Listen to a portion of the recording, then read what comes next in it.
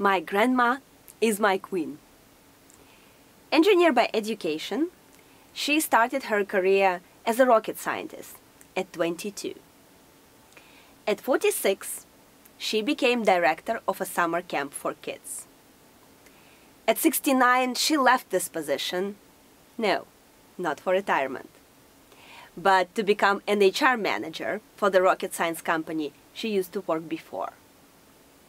She retired only 13 years later, at 82, beloved by everyone who was lucky enough to work with her. She is now 88 and oh my god, you should see the flowers and veggies she is growing at her country house.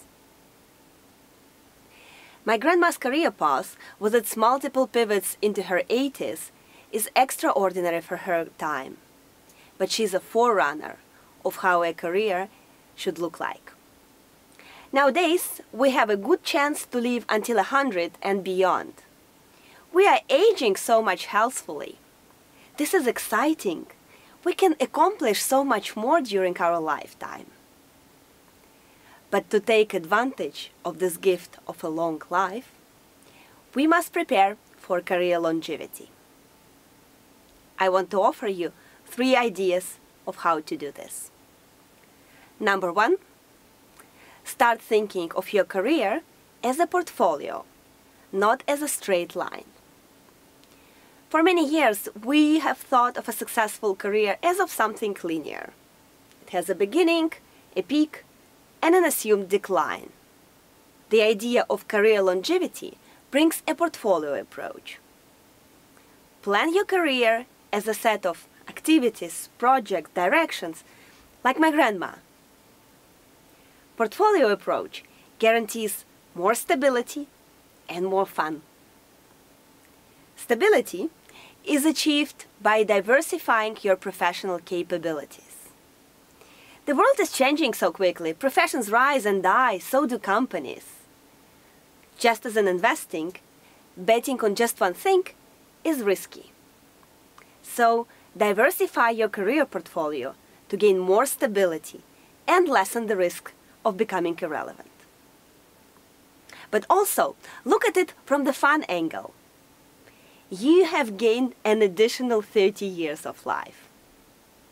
Some of that should definitely go to doing something interesting. Ask yourself, what else do I want to do? Create a wish list and start working on it now.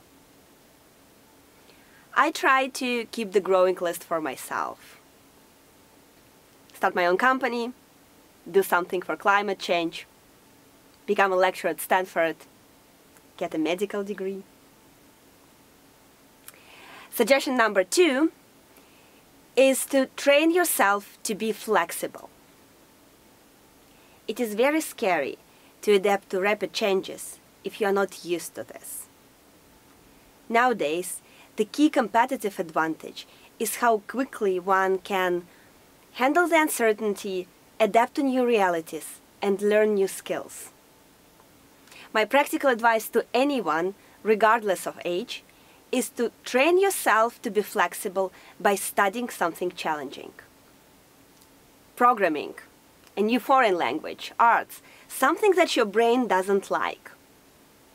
For me, it became math the last couple of years, I've made myself working on math problems every week. In the beginning, it was torture, but now it's fun. Suggestion number three is more of an ask. Shape the future by building multi-generational teams. Multi-generational teams are rare in business now.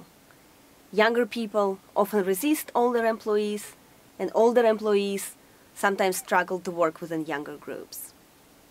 But actually, research by Laura Carstensen at the Stanford Center on Longevity indicates that multi-generational teams are more successful than omni-generational ones.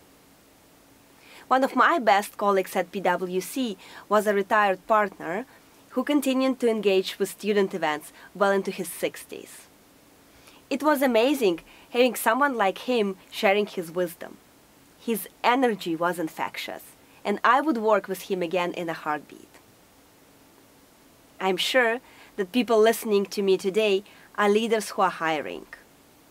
My prime message to you is not to be afraid to build multi generational teams. It is strategic for your business and contributes to your personal career longevity. We can confidently say that people in their 30s or 40s today will work another 40 or 50 years. While we consider a career with multiple pivots, there are basic skills like communicating and collaborating with people that should be mastered.